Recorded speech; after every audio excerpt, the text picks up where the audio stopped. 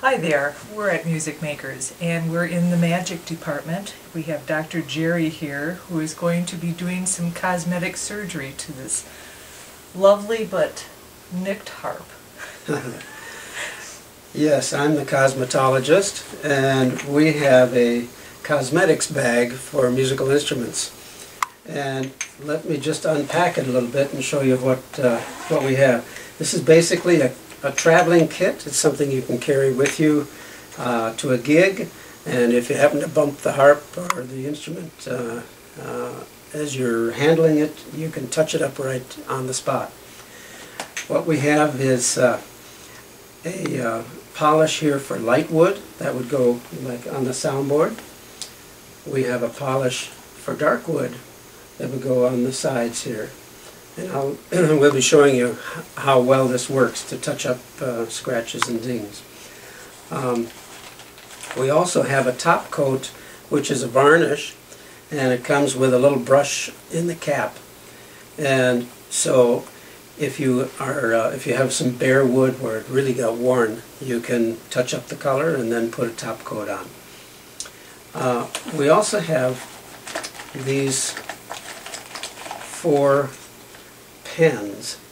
They're felt tip fine point pen, all in different colors. This is a medium brown, and we have a light brown and a black and a dark brown.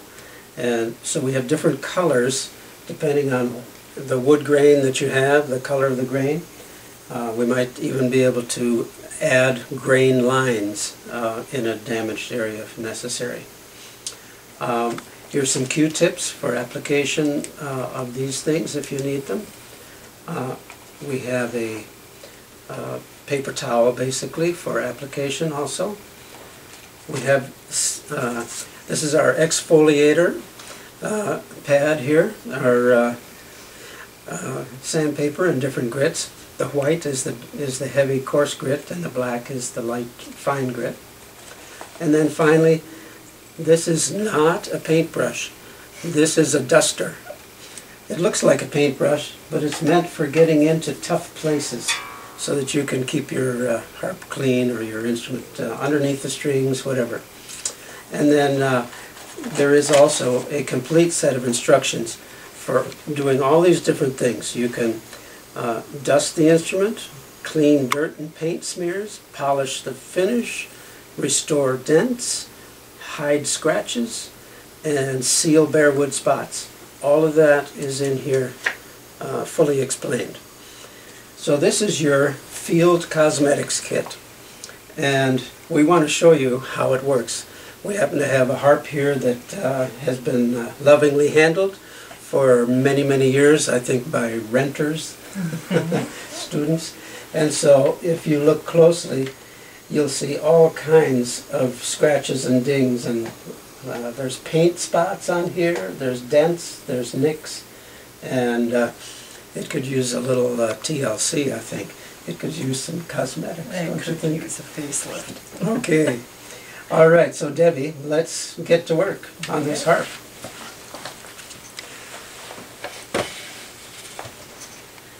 Where are we going to begin? First of all, I would make sure to put a pad on your work table. Um, let's see, maybe I'll just leave it standing up like this. And this, this is the area that we'll work on first here. These are white spots, but they're uh, actually paint that's on top of the wood. And so we need to get rid of them. And what I use for that is the fine sandpaper. We're actually, uh, since there's paint on top of the old finish, we're just going to get rid of the paint. And we'll do it by sanding lightly.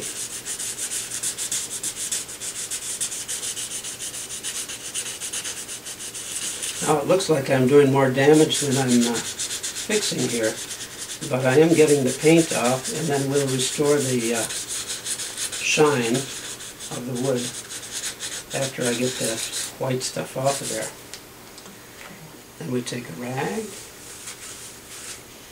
and then this is where we use this dark wood uh, furniture polish.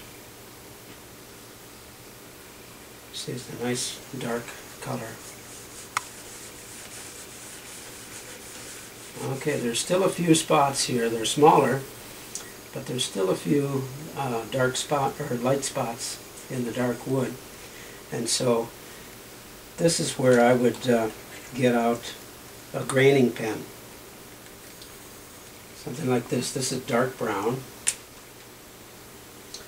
And we can actually color those spots. You Might have to dry the, uh, Finish up a little more. the polish a little bit so that it takes here.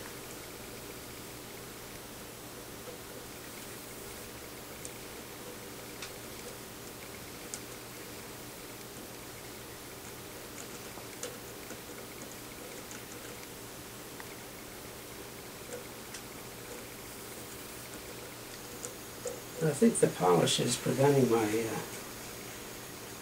graining pen from uh, working fully.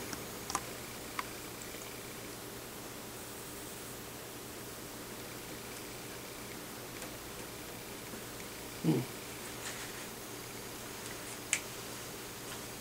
Try some of this again here.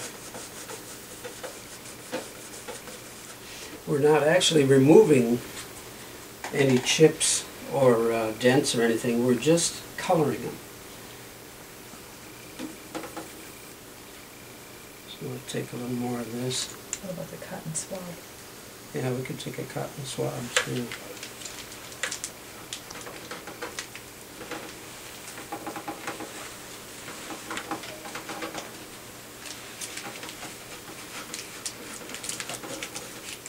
Now that's working. Yeah, you might try to get a little deeper into those, uh, to these little cracks here.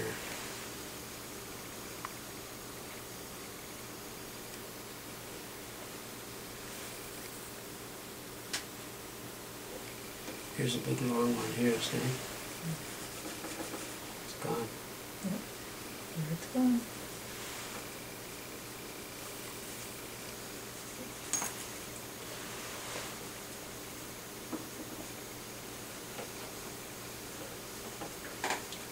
This polish is uh, Old English brand, and you can get it in uh, different colors for light or dark wood.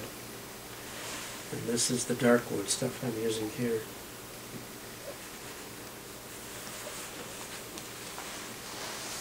Makes quite a difference.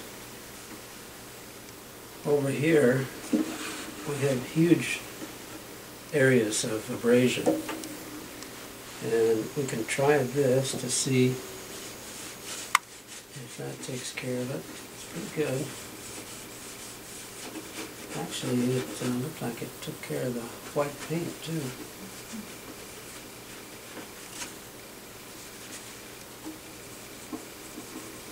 The goal here is to make your harp look as, as good as you can for performance uh, because that's part of the image. And uh, it doesn't have to be professionally restored, it just has to look good, you know?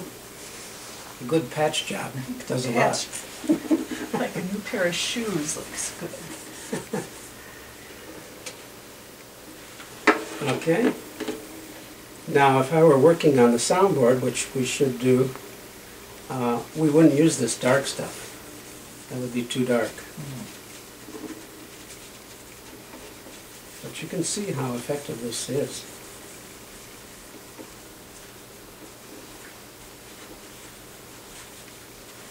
Let's turn it around and, and show the soundboard.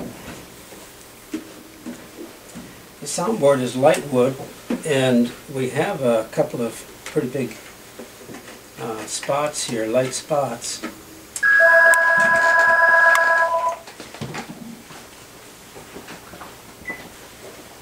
And why don't you just put some of that on there. So we use this uh, Old English for light wood,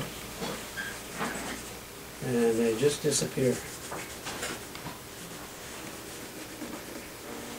If we used the dark wood uh, polish on them, they would they would look black, and we don't want to do that because that would uh, not be natural. Now here we have some, uh, some sort of uh, spilled something or other here. Chocolate maybe? And in that case, I would just use uh, soapy water on my towel and wipe that off. And if, if soapy water doesn't do it, I might try a little mineral spirits. Uh, And that should get rid of those. Just Some like getting that eye up in here, makeup off, huh? That's right, yeah. There's lots more we can work on here. Uh, the pillar has a bunch of dings, and this looks like paint, but, uh, I think what I'm gonna do, since this, uh, Old English is so effective, I'll start with that. And then if I need to do a little sanding, I'll, uh, I'll do that later, yeah. See, this one spot here doesn't come off with this material because it's actually paint on the outside. Okay. We don't keep it on? Okay, yeah, it's not in our system, yeah, And that looks like it must be paint too. It's not. Those funny little lines there. Okay. So in that case, I sand it.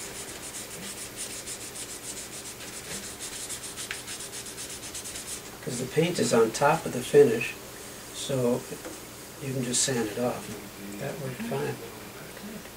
And probably up here too, huh? Yeah, they come right off.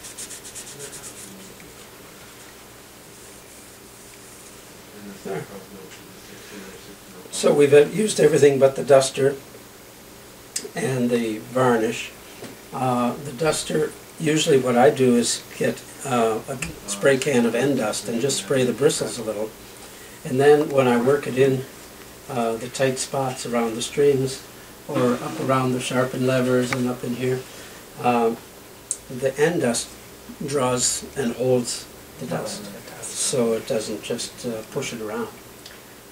So this is used for a lot of cleanup and a lot of just tidying of your instruments. That's right, it's real minor maintenance, but it makes a huge difference uh, to do it. And it's just a matter of choosing which product works the best here. And the, the idea of giving you a kit like this is you don't have to go out and buy a full-size bottle of everything, you know, or a big can of varnish, and, and how are you gonna carry that stuff with you? Right. So we have a nice little cosmetic bag that's kind of like a clutch purse.